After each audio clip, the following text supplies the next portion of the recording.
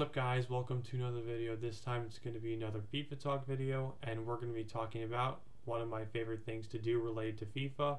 And one of my favorite things to do related to FIFA is do drafts on Futbin and Futwatch. I will link those sites in the description, and it's also just really fun to do drafts on those sites. So, yeah, that's pretty much it. I hope you guys enjoyed this video. Like, comment, subscribe, hit that notification bell. I will see you guys in the next one.